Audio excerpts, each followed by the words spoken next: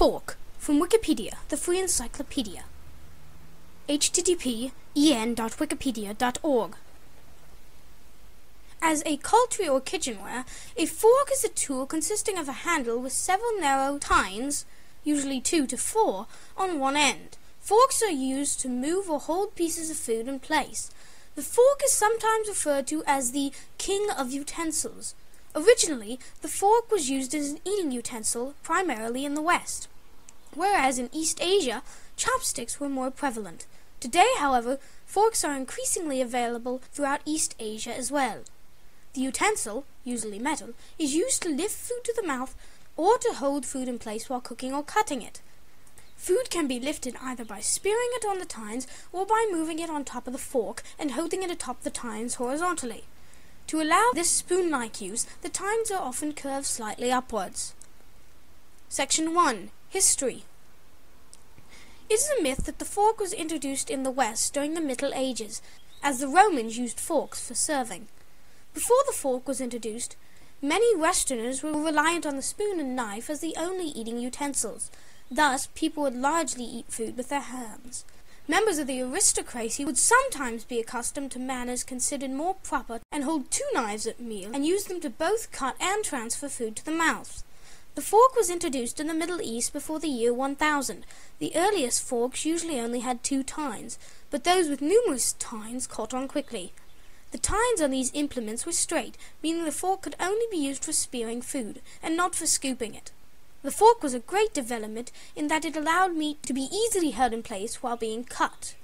The fork also allowed one to spike a piece of meat and shake off any undesired excess of sauce or liquid before consuming it. By the 11th century, the table fork had made its way to Italy by the way of the Byzantine Empire. In Italy, it became quite popular by the 14th century, being commonly used for eating by merchant and upper classes by 1600. The fork's arrival in northern Europe was more difficult.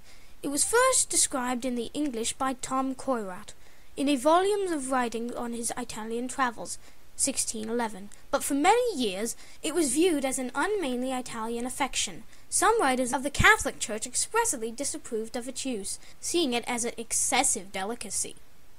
God in his wisdom has provided man with natural forks, his fingers, Therefore, it is an insult to him to substitute artificial metallic forks for them while eating. It was not until the 18th century that the fork became commonly used in Great Britain. It was around this time that the curved fork used today was developed in Germany. The standard four-tine design also became current at this time. The three-pronged variety is known as a trident, or more rhythmically, a threek. The 20th century also saw the emergence of a runcible spoon, popularly referred to as a spork, a utensil that is half fork, half spoon. With this new fork spoon, only one piece of cutlery is needed when eating, so long as a knife is not required.